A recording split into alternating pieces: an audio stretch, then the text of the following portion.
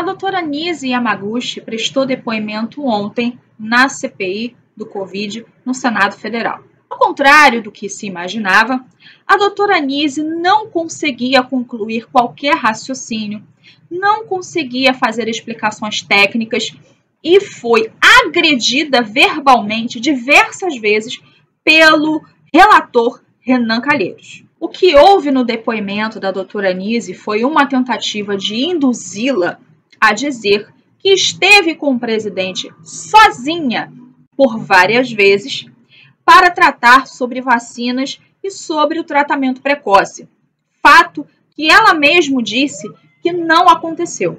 A doutora Nise afirmou mais de uma vez que nunca esteve sozinha com o presidente Bolsonaro e que esteve várias vezes, sim, no Ministério da Saúde, dando palestras, inclusive numa audiência da Câmara dos Deputados. Ao contrário do que se imaginava, a doutora Nise não foi questionada sobre quais os métodos mais eficazes, no que o presidente Bolsonaro poderia ter errado ou acertado com relação ao coronavírus. Não. Ela foi interpelada diversas vezes sobre um tal de gabinete paralelo, que é um sonho que ronda o legislativo brasileiro. Para quem não sabe, gabinete paralelo ou gabinete do ódio foi uma invenção criada por Joyce Hasselman e Alexandre Frota.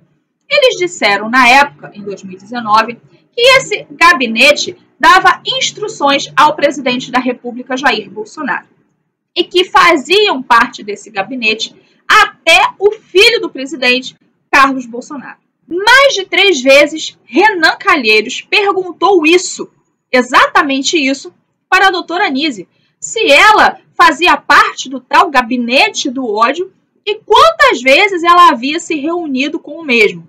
Tanto Renan Calheiros como Osmar Aziz, que é o presidente do, da CPI, foram completamente deselegantes, para não dizer mal educados, com a doutora, que tem mais de 40 anos de profissão.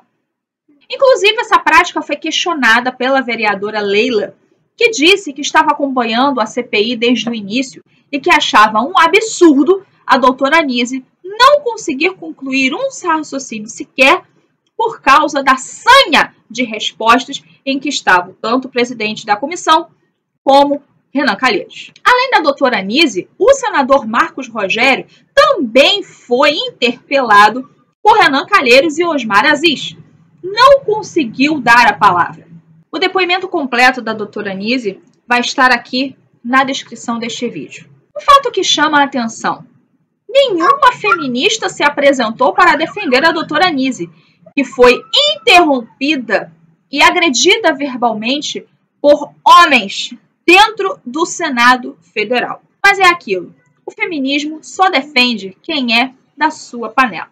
Por causa deste absurdo, o legislativo como um todo deve uma desculpa pública à doutora Nise, uma senhora com mais de 40 anos de profissão, experiente, estudada, que foi agredida dentro do Senado Federal. Aguardamos um posicionamento tanto do presidente do Senado, Rodrigo Pacheco, como da presidência da Câmara, que está sob o poder de Arthur Lira, para que este pedido de desculpas seja feito o mais breve possível.